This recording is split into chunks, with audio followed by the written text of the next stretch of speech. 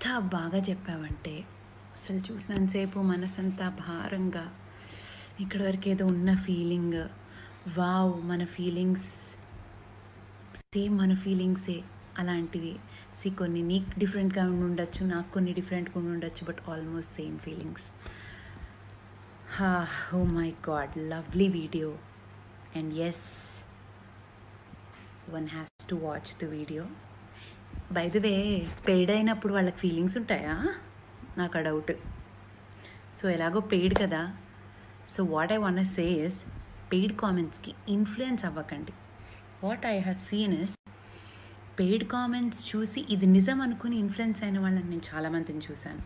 ఇది నిజం అనుకుని నువ్వు అన్నావు చూడు ఫ్రెండ్స్ సపోర్ట్ అని వాళ్ళు మనకు సపోర్ట్ చేస్తే వాళ్ళకేమవుతుందో అనే ఒక భయాన్ని వాళ్ళ తప్పు కాదు. అంత భయాన్ని క్రియేట్ చేస్తారు. ఓహో వీళ్ళకి మీరు సపోర్ట్ చేసి క్యాంపెయినింగ్ చేస్తారా? ఎలా చేస్తారో చూస్తాను.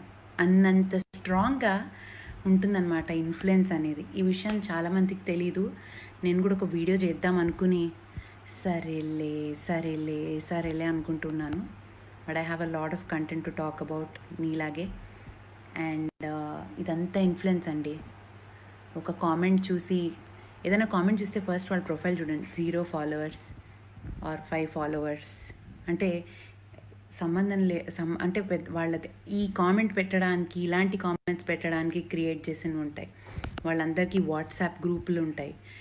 అండ్ ట్విట్టర్లో uh, అన్ని పే ట్వీట్స్ ఉంటాయి. చాలా వరకు. దాన్ని చూసి ఇన్ఫ్లుయెన్స్ అయ్యి ఓట్లేసే వాళ్ళు ఉంటారు. దాన్ని చూసి ఇన్ఫ్లుయెన్స్ అయ్యి మనకు సపోర్ట్ చేయడానికి భయపడే వాళ్ళు ఉంటారు. మనకి సపోర్ట్ చేయకుండా ఉండడానికి ఒక బ్యాచ్ ఉంటారు. లేనిపోనివి సృష్టించడానికి ఆల్రెడీ బిగ్ బాస్లో పావలాకి పావులాకి రూపాయి లేదా రూపాయిని పావులా అలా ఉంటుంది. ఎందుకంటే వాళ్ళ వాళ్ళ తరం కూడా కాదు వాళ్ళ టీఆర్పీస్ కోసము లేకపోతే వాళ్ళు ఆడియన్స్ ఏది చూస్తే ఎంజాయ్ చేస్తారు అలాంటివేవో వాళ్ళు చూసుకుంటారు. దానికి కరివేపాకు పోపు పచ్చిమిరపకాయలు అన్నీ వేసి సంబంధం లేకుండా అవసరం లేని రివ్యూలు ఇచ్చి రివ్యూస్లో కూడా రివ్యూస్ చూస్తే తెలిసిపోతుంది ఏది పేడో ఏది కాదు. కొంచెం కొంచెం మైండ్ పెట్టి ఆలోచిస్తే తెలిసిపోతుంది. రివ్యూ జెన్యున్గా ఉందా లేదా అనేది వాళ్ళ భాష విధానం వాళ్ళు మాట్లాడే విధానం బట్టి చెప్పచ్చు.